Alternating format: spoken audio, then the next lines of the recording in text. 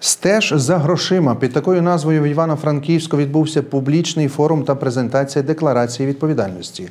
Організатори заходу вирішили привернути увагу громади до проблеми проведення чесних місцевих виборів, фінансування передвиборчих кампаній кандидатів та змісту обіцянок кандидатів.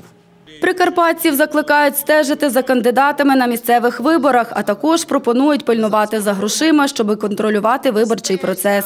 Олег Рибачук, голова центру ЮА, колишній віце-прем'єр-міністр України, каже: нині маємо розмаїття політичних партій, тож виборцям важко розібратися в інформації. Відтак і зробити свій вибір. Ті політичні навіть партії, політичні проекти, які ми маємо, вони обслуговують інтереси великого національного капіталу. Скажіть олігархів. Олігарх яке слово таке ну, негативне, тому що олігарх це бізнес, який вріс в політику, який з публічних грошей забирає в свою кишеню ну, такий великий глист, який в- в нашому з вами організмі. Ми його годуємо, годуємо, а він там половину забирає енергії на себе. Тому, звичайно, ці політичні проекти, які у нас є, вони жодним чином не е, ставлять за мету зламати систему. Вони можуть покращити, модернізувати. е, Там не подобається вам таке обличчячко, ось вам таке обличчячко, різні партії, що завгодно. Але принципова е, схема, яку ще товариш Сталін запровадив, коли повна влада належала насправді партії влади.